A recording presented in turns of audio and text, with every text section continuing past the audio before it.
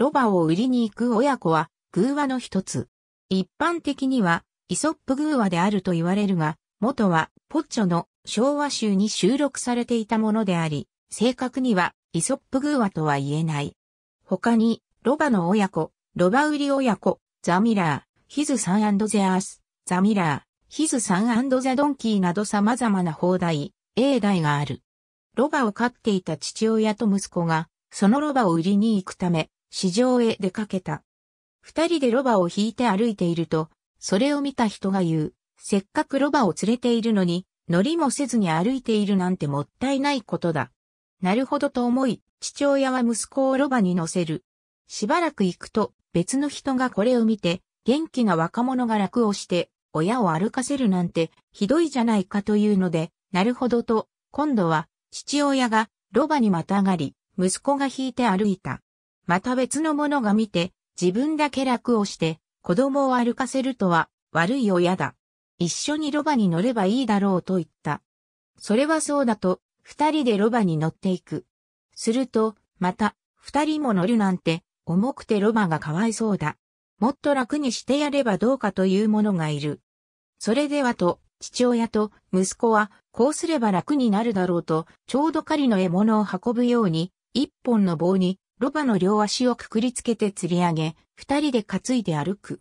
しかし、不自然な姿勢を嫌がったロバが暴れ出した。不運にもそこは橋の上であった。暴れたロバは川に落ちて流されて死んでしまった。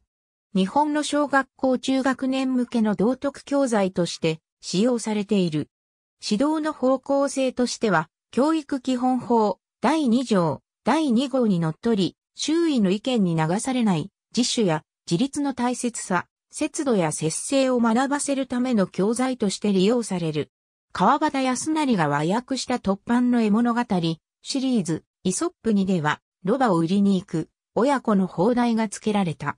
2020年6月11日に開かれたトヨタ自動車の株主総会で、社長の豊田昭夫が質疑応答の場面でこの話を引用し、ロバを引く親子に意見する人をマスメディアになぞらえ、要は言論の自由という名のもとに何をやっても批判されるということだと思います。最近のメディアを見ておりますと、何がニュースかは自分たちが決めるという傲慢さを感じずにはいられませんと、マスメディアの報道姿勢を批判。